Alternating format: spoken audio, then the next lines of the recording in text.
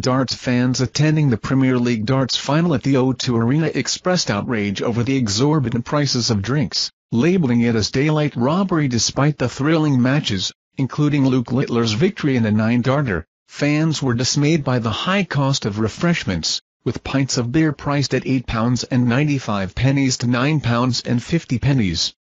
Even supposed deals like the two-pint offer failed to provide savings.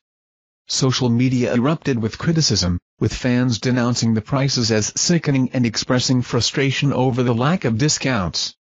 The incident echoes similar complaints at other venues like Cheltenham for overpriced event day drinks.